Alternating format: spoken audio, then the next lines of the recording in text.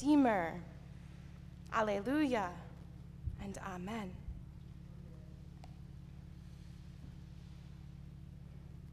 Welcome, just as you are.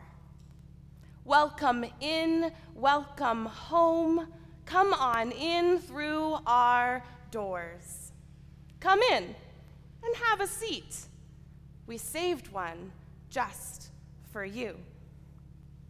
We are a growing church with a big heart, and we have saved a place for you. We are a learning, loving, and living family of faith, and our door is always open. Come and walk through the threshold. Come and be challenged. Come and be comforted. Come and be called home.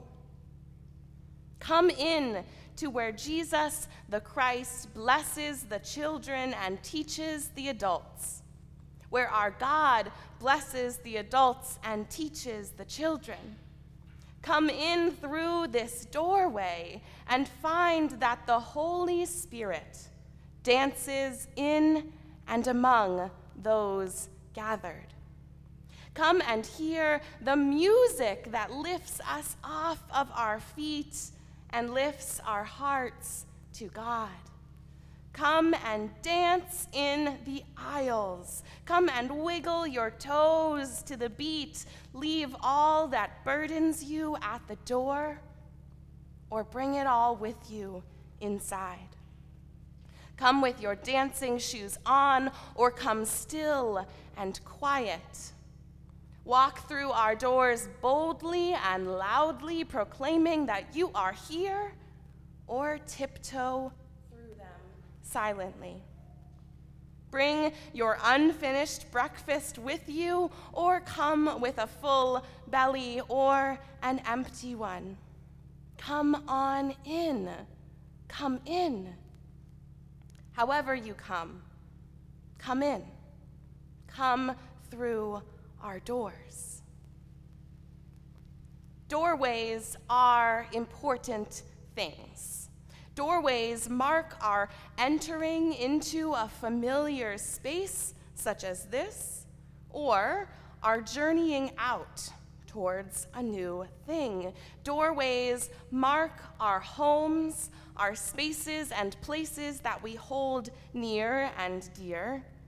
And over the doorways of many homes are maybe the name of the family that lives there, or maybe a number from the street upon which you live, or a slogan or a quote that tells the one who walks through that passageway what kind of heart dwells there. These signs might read, Stay a while, or bless this home, or welcome to our happy place, right? These signs mark our doorways as a title and a claim to who lives there, as a reminder to all that the importance of that space matters to the people who enter into it, and that all who come in are family, offered a seat at the table. Perhaps some of you have some of these signs above doorways in your homes. In the Jewish faith, in which our own Christian faith has deep roots, it is tradition to place what is called a mezuzah along the doorways of our homes, right on the side. Translates directly to doorpost and commonly refers to a little scroll of parchment that is rolled up and contains specific biblical verses and is put into a hard plastic container and commonly placed on the side of doorways or thresholds in the homes of our Jewish siblings. They serve as a reminder of what is valued in that home, holding specific scripture passages in the scroll. they mark a claim as to who lives there, sealed and attached and screwed into the door frame. They are not to be missed. A mezuzah serves as a daily reminder and a public declaration of identity and faith, who and whose they are. The mezuzah recalls the Hebrews taking exodus from Egypt during the Passover, when the doorposts identified the Jewish homes that God passed over during the plague of the firstborn. You know the story. And from that day forward, the mezuzah has always identified a home as belonging to a Hebrew. Traveling throughout the world or this very country, one can often seek out the hospitality of our Jewish siblings by looking for a mezuzah on the doorpost. Maybe you've seen one before. A blessing of welcome, a reminder to live fully into one's faith, a challenge even to carry out God's word boldly into the world. And every time a person of Jewish faith walks through the doorway with a mezuzah, they touch the casing of that scroll, and then they bring their fingers to their lips as a sign to express one's love and devotion to God and remembering the importance of the scripture that is within the mezuzah. Walking through doorways in a place of faith, in a sacred place, in a loving place, is a holy, holy thing. And your passing through our doorway this morning has made this a holy space, even more so than it was. Even as you are blessed, you are a blessing to this space. And we welcome you home every time, regular or not, stranger or not. Can you feel the Spirit when you walk into this place? Folks greeting one another, hugging one another. Come just as you. Come in. Come on in. I wonder what words might adorn our doorway right here, or perhaps out front or to the side, if we were to craft one of those wooden signs that you might find at the Hallmark store to go above the threshold. Maybe something like, the Falmouth Congregational Church welcomes you. Or perhaps, all who come in love are welcome here. Or maybe you are home here. I know the first time I walked through those doors, you all welcomed me with open arms and open hearts, and I give thanks for that. I saw that sign above the door in my imagination, and I knew this is a place where all who come in love are welcome. Come, just as you are. And yet, And yet, even as we try our humanly hardest to open our doors physically and prayerfully, as wide as the hinges will swing, we know that sometimes the world tells us not to. We know sometimes the world tells us to be afraid, and for good reason sometimes, to close our doors, to close ourselves off to those who are unlike us or those who we fear. Sometimes we come just as we are, and yet we feel doors slammed in our faces and in our hearts. Perhaps you have felt this way before. closed off because of who you are or how you love, because of who you voted for, or what kind of car you drive, because of what you ate for breakfast, because perhaps you know the painful sting of a door closing in front of you that you were so excited to walk through. We come as we are, and we are sometimes rejected, outcast, told we are not welcome. This happens to all of us, some of us quite often.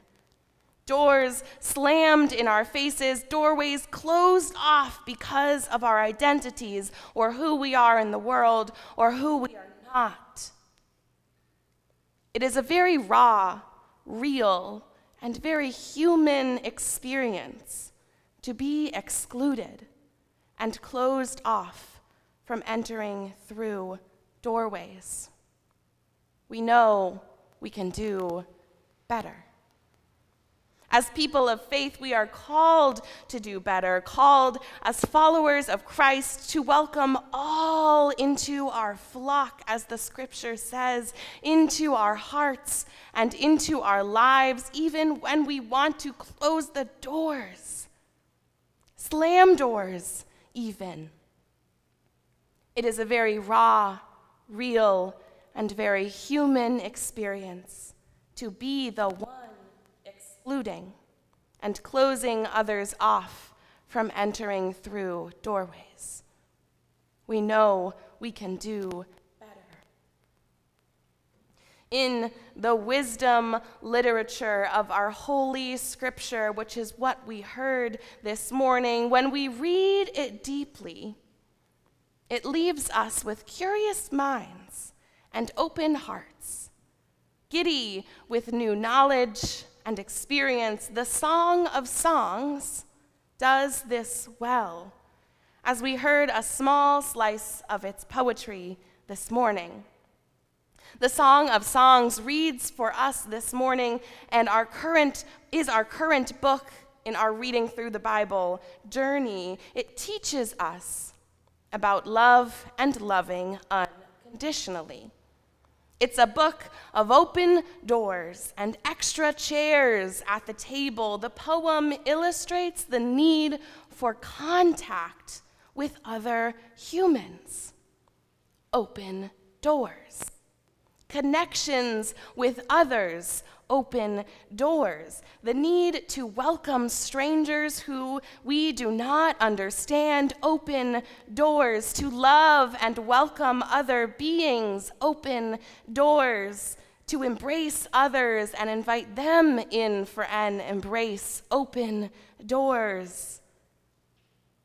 Before we can read this poem in the Bible as being in relationship, with God, which it beautifully illustrates. First, we must see it as an instruction of how to be in relationship with each other.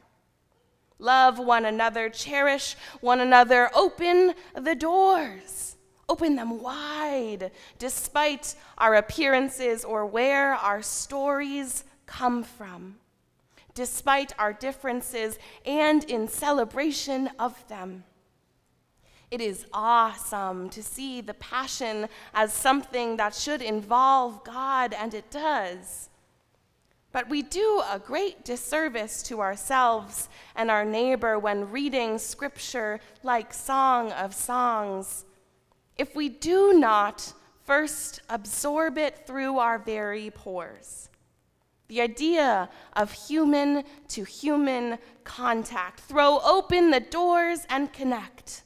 Hang signs that let all who enter through those doors know that they are welcome as they are.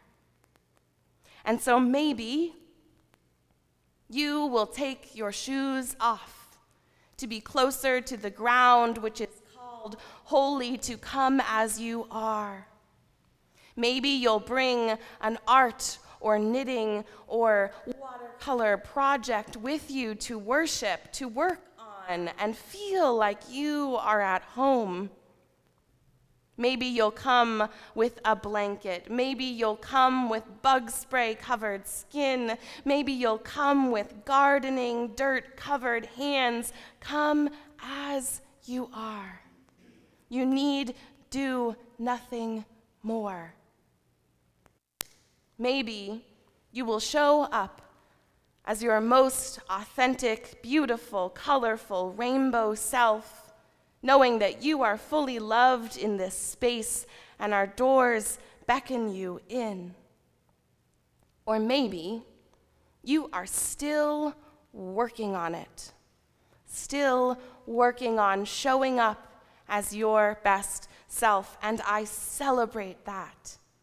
And I hope that you will continue to show up in this space in whatever way feels best for you. Shoes, or not. Maybe you'll come tears and laughter, singing and dancing, praying and hoping, working and leading, learning and teaching, preaching and praying. For all of these things are what it means to come as followers of Christ, as our most honest and real selves, however that looks for you in this moment, that is okay. So open the doors. Keep them open and open them wide in your homes, in your hearts, in this very church. All are welcome here. Come, just as you are, and welcome home. Amen.